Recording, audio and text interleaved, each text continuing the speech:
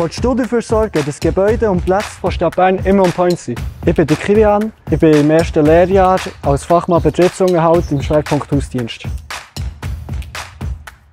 In diesem Job ist man zuständig für die Reinigung, für den Unterhalt, für die Abfallentsorgung und natürlich für viel, viel mehr. Die Lehre dauert ein Jahr. Was mich an diesem Beruf besonders fasziniert, ist die Abwechslung und das Arbeiten im Team. Und dabei erhaltet man Einblick in 19 verschiedene Berufe.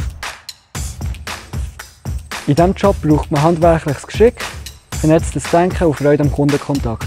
Hast du Lust auf eine coole Ausbildung? Dann bewirb jetzt oder entdeckt 22 weitere spannende Berufe auf unserer Webseite.